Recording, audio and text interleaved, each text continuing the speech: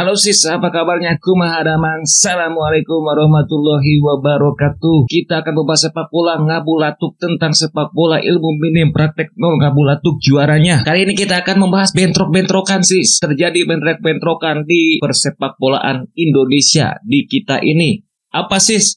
Ya, bentrok jadwal beri Liga 1 dan FIFA Match Day menarik ini kalau ada tim yang merasa dirugikan jangan ke mana-mana arahnya jangan wah mentang-mentang tim ini di ini jadi dah jangan begitu jangan berpikiran seperti itu kawanku kita kritiki ya yang menjadwalkannya lah PSSI. Kita akan melihat pertandingan BRI Liga 1 dan juga FIFA Match Day. Jadi pemain-pemain yang dipanggil itu kan namanya pemain profesional, nasionalismenya tinggi, otomatis akan senang ketika dibutuhkan untuk membela timnas Indonesia. Di sisi lain juga, klub yang genting dalam pengejaran juara PSM Makassar diuntungkan. PSM Makassar hanya membutuhkan 2 poin. PSM Makassar jeda istirahatnya banyak. PSM Makassar bermainnya nanti setelah FIFA Match Day hari Jumat.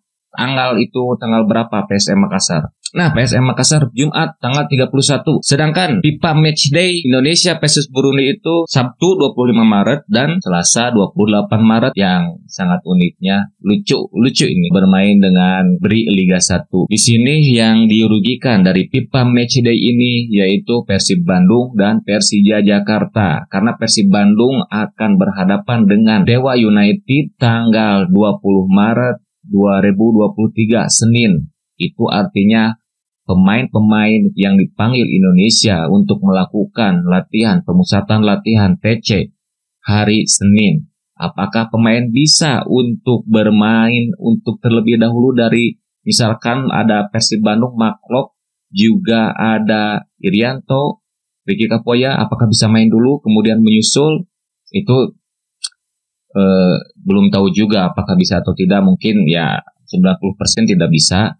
Kalau yang dirugikan dari Persija Jakarta yaitu pertandingan yang pertandingan kedua dari Indonesia versus Burundi Selasa 28 Maret jam setengah sembilan. Itu artinya 6 pemain inti dari Persija Jakarta Muhammad Ferrari, Riko Simanyutak, Doni Tripamukas, Witan Sulaiman, Abi Manyu, Hansa Muyama benar-benar tidak bisa ditampilkan sis karena bersamaan ini.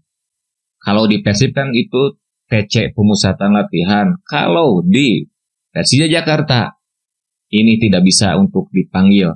Padahal ini adalah uh, pengejaran gelar untuk menuju se seenggaknya kalau tidak ada harapan meskipun PSM Makassar 2 poin, tapi ya tidak ada yang tidak mungkin kedua klub ini menginginkan kemenangan bisa mengganggu PSM Makassar dan PSM Makassar bermain kembali tanggal 31 Maret 2023 artinya hari Jumat jam setengah sembilan itu bersamaan pertandingan El Clasico Persib Bandung versus Persija Jakarta. Kalaupun Madura United PSM Makassar menang menang PSM Makassar dan Persija Jakarta Persib Bandung. Kalaupun Madura menang versus PSM Makassar misalkan Persija Persib Bandung imbang ya masih berarti Makassar juga diuntungkan. Ini track-tracknya ini sangat ya uh, juaranya ya sudah menuju ke Makassar. Namun kita terhibur Persija Jakarta versus Persib Bandung. Oke sis, semoga di Indonesia ini kita syuting hari Minggu. Semoga Indonesia ini PSSI bisa merubah jadwal tidak bentrok antara FIFA Match Day dan jadwal Liga Indonesia. Oke, sampai di sini terlebih dahulu untuk informasi kali ini. Tidak terlalu panjang lebar. Pamit. Assalamualaikum warahmatullahi wabarakatuh. Bagaimana